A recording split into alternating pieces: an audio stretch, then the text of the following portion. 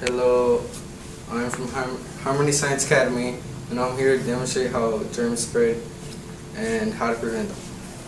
Now, for this, you will need a Glo Germ box. You can buy it off the internet, and it comes with a glow gel, a glow powder, um, an extension cord, and a light bulb, a black light.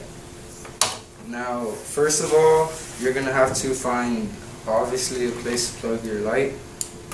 And then whenever you find that, you either choose a glow gel or glow powder. And you you could just put any one on, it doesn't really matter. If you put the gel on, you don't put that much, but just like put a little bit like this.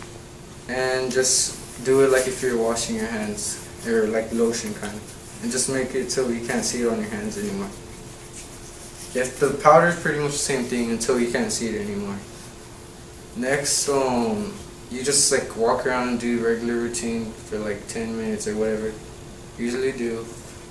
Uh, and then, and then after the 10 minutes, you turn off the lights. And then you look at your hands or and everywhere that you touched, and um, you'll see it glow in the dark. And these um, ah, hold up.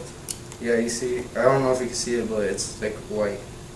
And these um, the glow gel and the glow powder represents germs, and it's it's not really germs, but it just represents how germs spread.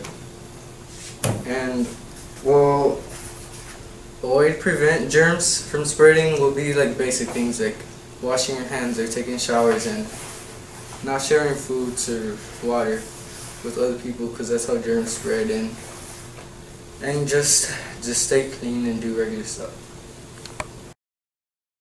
Alright, I'm gonna show you how to use um, the powder. All you do, it's pretty simple, all you do is um, just pour it on your hands and then you just rub it all around your hands like the lotion, or not the lotion, I mean the gel. And then you just touch everywhere after you touch everywhere, then you turn off the lights and you put on your black light and you should see that every everything that you touch, wherever the powder got, it glows.